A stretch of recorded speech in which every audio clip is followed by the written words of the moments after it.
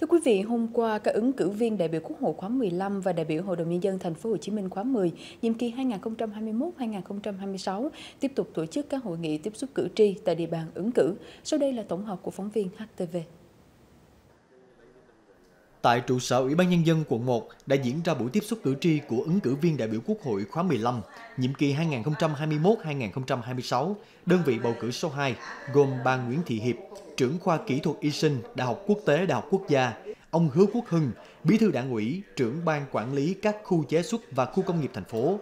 Đại tá Nguyễn Sĩ Quang, Phó Giám đốc Công an thành phố Hồ Chí Minh, Thủ trưởng Cơ quan An ninh điều tra Công an thành phố Hồ Chí Minh, bà Trần Kim Yến, bí thư quận ủy quận 1, ông Đỗ Đức Hiển, vụ trưởng vụ pháp luật hình sự, hành chính, Bộ Tư pháp. Đa số bà con cử tri quận 1 đã bày tỏ đồng tình tin tưởng và đánh giá cao chương trình hành động của các ứng viên, kỳ vọng các ứng viên với uy tín và trách nhiệm của mình trong vai trò đại biểu Quốc hội sẽ đại diện cho tiếng nói của đông đảo cử tri. Ngoài ra, tại buổi tiếp xúc, nhiều cử tri cũng đã đóng góp nhiều ý kiến xoay quanh các vấn đề về đời sống an sinh xã hội, đảm bảo an ninh trật tự, chống tham nhũng, đấu tranh phòng chống các loại tội phạm.